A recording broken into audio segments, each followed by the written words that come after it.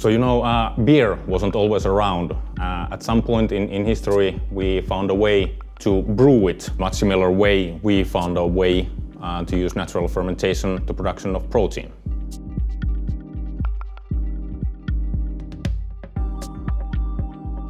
Beer fermentation is a process when sugars sourced from the barley are fed to brewer's yeast, which produces alcohol and flavor compounds, making it to beer.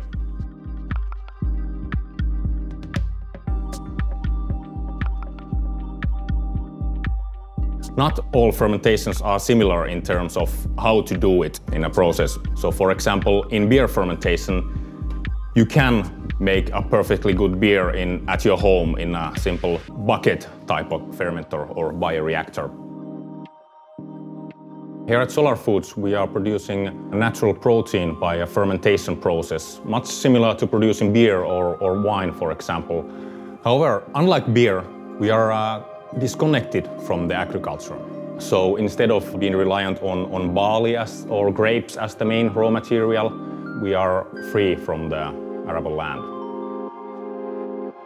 Fermentation is a process in which we take this uh, microbe that we have sourced from the nature and provided uh, suitable growth conditions in the bioreactor. The right conditions means that we have to provide the carbon dioxide for them, which they use actually in a much similar way as plants and trees. In order for the microbe to use the carbon dioxide and hydrogen, it requires also oxygen, basically because it needs to breathe, much like you and me.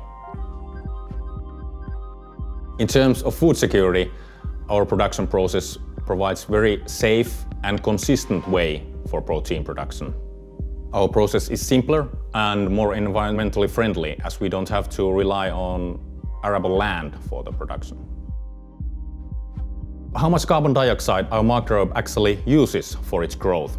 Let's put it this way that um, in beer you usually have about 5 grams per liter of beer carbon dioxide dissolved in it and when you open the bottle you can see it start bubbling out.